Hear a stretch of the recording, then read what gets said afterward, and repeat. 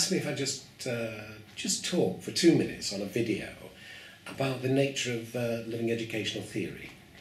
And what I said that I'd do is just focus on what it is that uh, excites me about individuals creating their own living theories.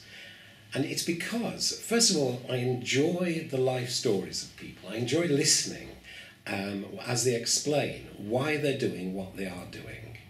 And yet, when I was studying um, educational theory at the University of London Institute of Education, the theories that were given actually eliminated um, the practical principles that individuals use to explain their own lives. And what I decided to do, I decided to leave teaching in schools and come to the University of Bath. I was lucky to get a post there in 1973 to see if I could help to create a very different kind of educational theory that really included the explanations that individuals gave for why they do what they do. And with people that I talk with, I notice the expression of a tremendous flow of energy that I, I just refer to as a life affirming energy.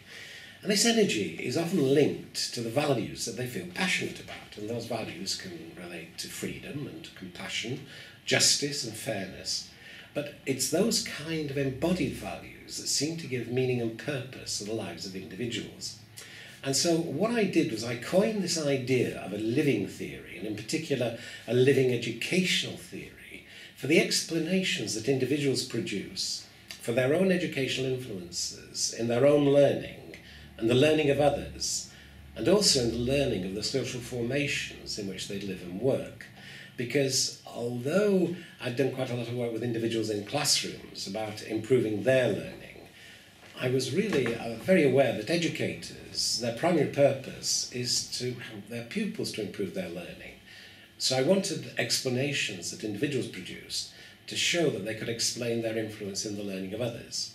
And the third point came later because it was pointed out to me by this um, researcher called Susan Noffke in about 1995 that to create a living educational theory was important, but it wasn't sufficient if you wanted to influence the social formations or the cultures within which we live and work.